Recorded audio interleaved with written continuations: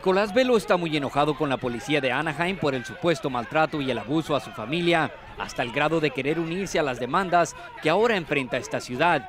Ahí mataron a un chavo y lo mataron indebidamente. Yo creo que no es así, oiga.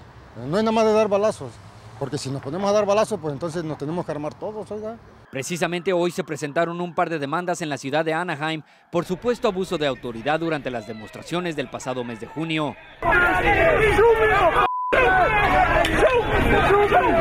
Las supuestas víctimas, Jesús Reina y Víctor González, exigen un millón de dólares cada uno por daños físicos y emocionales. Hay mucha discriminación, en particular cuando llega la cuestión de cómo la policía se trata a la gente.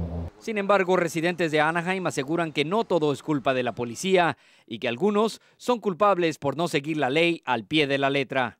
Sí se les va la mano, pero como que uno a veces tiene que estar más cuidadoso y también poner de su parte, ¿no? Como comentario adicional, el representante abogado de estas supuestas víctimas dijo estar anteponiendo estas demandas debido a que la policía de esta ciudad no respeta a la comunidad latina.